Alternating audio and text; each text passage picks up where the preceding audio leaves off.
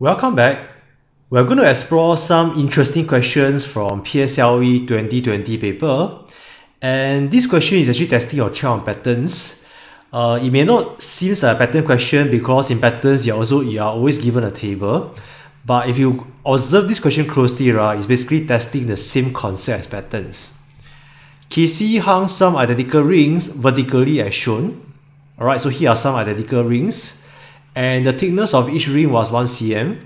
For part A, they want the total distance from the top of the first ring to the bottom of the fourth ring. Alright, so as you can see, right, the rings they overlap over here. And can you tell me what is the overlap part? It's basically just 1 cm plus 1 cm, okay? And how we know that? Because the thickness is 1 cm.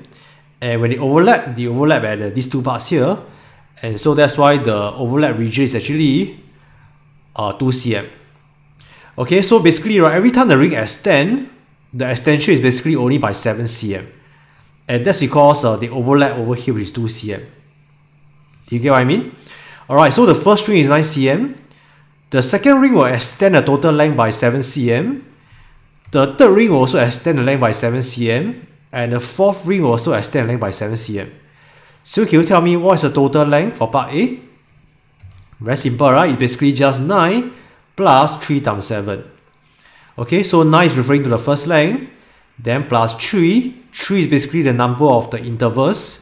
Right, in this case, there are 3 sevens over here, right? 1, 2, and 3. So you take 9 plus 3 times 7, the answer is 30 cm.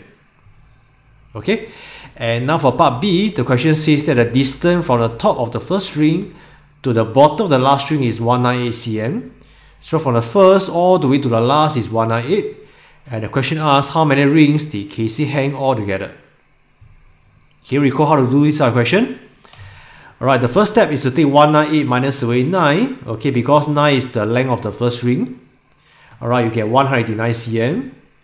Okay, then you take 189 divided by 7 to find how many intervals are there. Alright, so in this case, when I take 189 divided by 7, I basically get 27 additional rings. Alright, so to okay, this 27 is not the answer, but because 27 is basically the number of additional rings. So to find the total number of rings, what should you do? You have to add the first ring, right? So 27 plus 1, the answer is 28 rings.